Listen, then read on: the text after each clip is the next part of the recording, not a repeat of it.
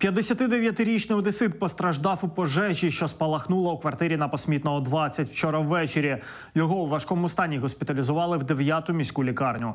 За даними ДСНС, загорілася кухня у квартирі на четвертому поверсі п'ятиповерхівки. Вогонь на площі 3 квадратні метри вдалося загасити о 23.04. Причини пожежі встановлюють.